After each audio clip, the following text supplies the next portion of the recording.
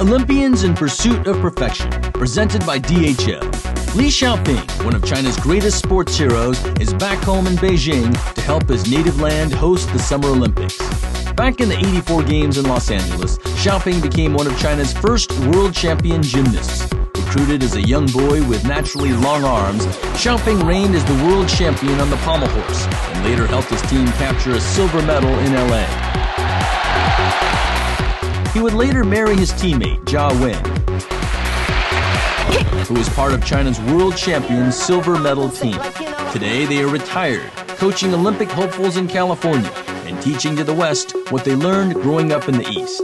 Like I tell my own kids, just don't, don't give up and never give up. Xiaoping says winners need three things raw talent, belief in yourself, and the will to win.